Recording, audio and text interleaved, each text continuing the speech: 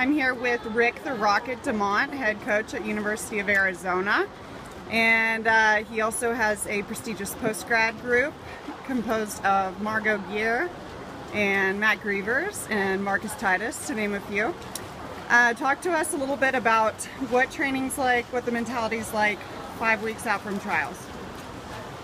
Well, I think we're a little under a little under five weeks now, and we've kind of started changing, you know, to a little bit more towards a resting mode, and um, and I think uh, generally when that happens, there's a little bit of a physical funk going on. Mm-hmm. So uh, we're kind of there right now, and um, and I'm just trying to uh, keep it simple and, uh, and and not complicate things, and just kind of go through the motions of not the motions, but I mean all the all the aspects of a workout, but not not really try to dissect it and worry about how you're feeling. Just uh, punch the clock, do the job, and go home and uh, think happy thoughts.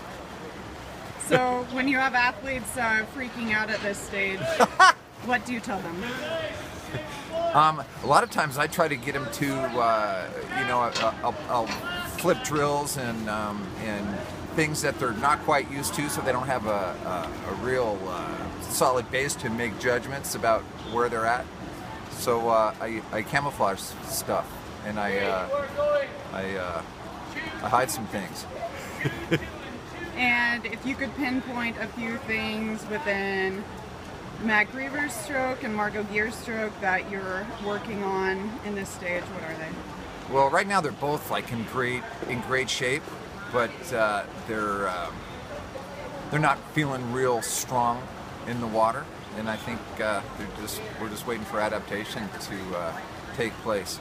But even though that feel that they're looking for, which I don't really pay that much attention to. Um, even, even though it's it's uh, not quite right, they're swimming really really fast.